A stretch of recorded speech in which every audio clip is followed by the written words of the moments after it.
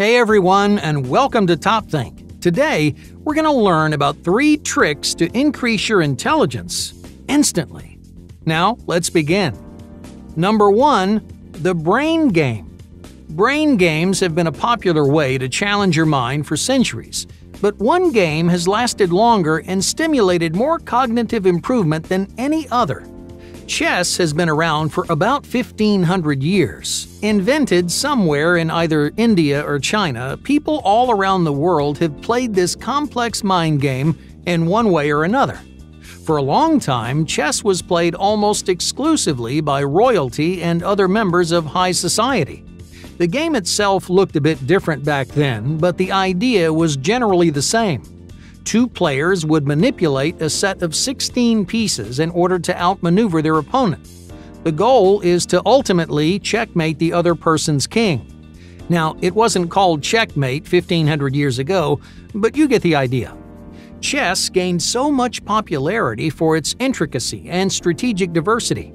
You have to think multiple steps ahead and find creative solutions to seemingly impossible problems. Even after hundreds of years, people are still discovering new ways to play the game. So, how does playing chess affect your brain? Well, most ancient people didn't realize it, but this mind game activates several major cognitive functions. You use your short term memory to quickly digest your opponent's moves. Then your long term memory helps you regurgitate effective strategies to counterattack. Your visual and spatial abilities let you recognize potential openings. So, both planning and creative thinking play a role in strategic adaptation. The list goes on and on. As you can plainly see, chess requires quite a bit of mental gymnastics, and if you're playing an official game, you have to do all of that within a certain time limit. That means that your brain has to be continuously focused and alert, otherwise, you won't think as clearly or perform at your best. This intense cognitive demand puts quite a bit of stress on your brain, but a lot like physical exercise, some stress is good for you. It's important to challenge and work your brain just like any other muscle in your body. Fit brain will continue operating at 100% even as you get older. It'll also have an easier time adapting if you experience some sort of neurological damage. For example, chess can repel diseases like Alzheimer's by maintaining your memory. Many doctors recommend that people with early signs of Alzheimer's begin playing chess for about 15 minutes every day. Yeah, I know it doesn't sound like much, but a little mental fitness can make all the difference. So that just leaves one more important question Does playing chess make you smarter? The answer is a pretty resounding yes, and it doesn't really matter what kind of intelligence that you're talking about. One study found that immersing students in a chess program dramatically improved their reading skills. Another integrated chess into a high school math curriculum. They found that playing chess heightened problem solving skills and raised test scores. A third study discovered that playing chess develops creativity and originality.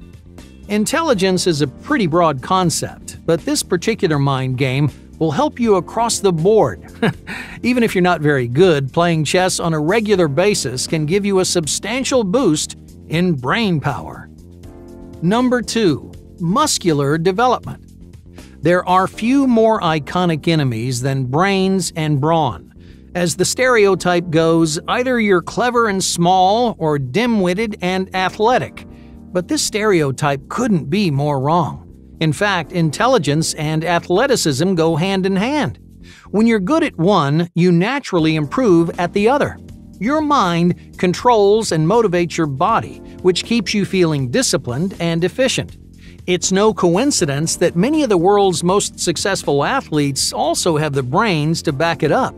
So, what about the other end of the spectrum? What does exercise do to nourish your brain? First of all, Exercise is one of the healthiest ways to give yourself that much needed energy boost. Instead of soda or coffee, a 15 minute workout will increase motivation and help you think clearly for the rest of the day. That increase in concentration allows you to learn and digest more information. Enhancing your body also significantly impacts your mood. So, when you feel happy and healthy, your brain releases endorphins. These hormones will increase both enthusiasm and information retention. Just go ahead and think about the last time you took a test or wrote an essay while you were in a bad mood. It probably didn't turn out how you wanted. That's because emotions like anger and sadness can cloud your judgment, your memory, and critical thinking skills. But when you raise your mood, you're basically increasing your intelligence. You're setting yourself up for success by enabling your brain to perform at its best. Finally, exercise stimulates a process called neurogenesis. This is when your brain grows new neurons. Now, normally, as you get older, the population of neurons in your brain gets lower and lower. But regular exercise slows down the aging process by regenerating neurons. This new growth lowers the risk of depression and anxiety, which are commonly associated with neural atrophy. So, if you want to develop a healthy mind, you can start by building on a healthy body. Number 3. Linguistic diversity. Language is one of the most sophisticated things that your brain is capable of. Every time you open your mouth to speak, countless areas of the brain start working in tandem to create words, sentences, and meaning. But most people don't realize how large of a role that the brain plays. On the surface, it doesn't seem to do all that much. You can't see or feel your brain when you speak. Your larynx creates the sound, your lips and tongue manipulate those noises into words. But your mouth and throat are pretty much useless without your brain to tell them what to do. Without direction, no one will understand what you're saying. In fact, you may not even be able to understand yourself. Let's take a look at two neurological deficiencies related to language. They're called Broca's aphasia and Wernicke's aphasia. Now, in general, aphasia is when your language production is impaired because of some kind of damage to your brain. In the case of Broca's aphasia, that damage affects a major region of language production called Broca's area. This section of the brain is primarily responsible for creating complex speech. So, when someone suffers from Broca's aphasia, they struggle to form sentences and use difficult grammar. Their speech often sounds slow and very simple because one part of their brain can't function like it's supposed to. For individuals with Broca's aphasia, this can be incredibly frustrating. Most of the time, they can understand language perfectly fine. They know in their mind exactly what they're trying to say, but their brain still struggles to translate that message into fluid language. On the flip side, Wernicke's area is another important region for language production. It handles speech comprehension, which means it helps you to create meaningful speech, so, if this part of your brain is damaged, your words may lose their meaning entirely. Wernicke's aphasics can often get the words out of their mouths but can't connect those words in an organized way. It just sounds like a jumble of unrelated ideas. Unlike Broca's aphasics, Wernicke's aphasics rarely realize there's anything wrong. In their mind, the words are coming out exactly like they're supposed to, but to everyone else, they're almost impossible to understand. So, why am I telling you all this? What does brain damage have to do with expanding your mind? Even if your lips, tongue, and voice box are working perfectly, language is a deeply neurological process. That means by practicing language, you're exercising your brain more than any other part of your body. So every time you speak, listen, read, or write, your brain is making countless new connections.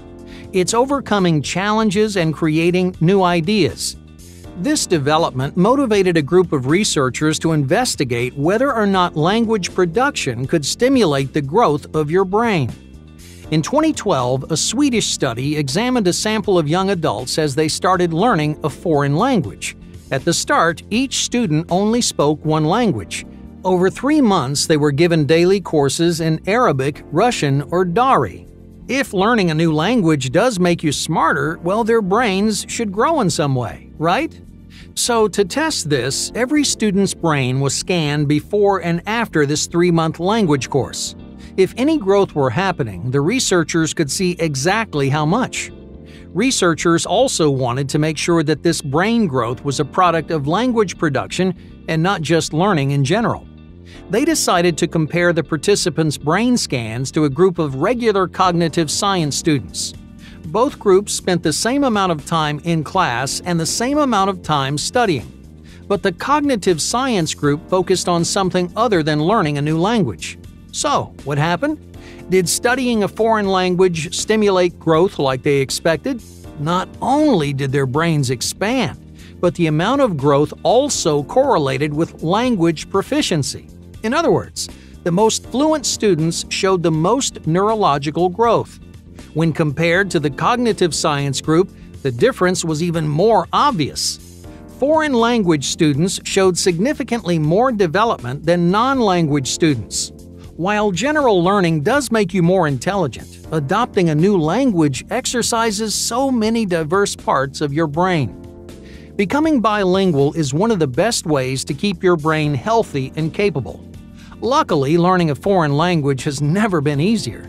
There are a number of different online classes and applications that you can use to adopt a new language in no time. So, if you want to increase your intelligence, it might be time to expand your linguistic horizons. Thank you for watching Top Think, and be sure to subscribe because more incredible content is on the way.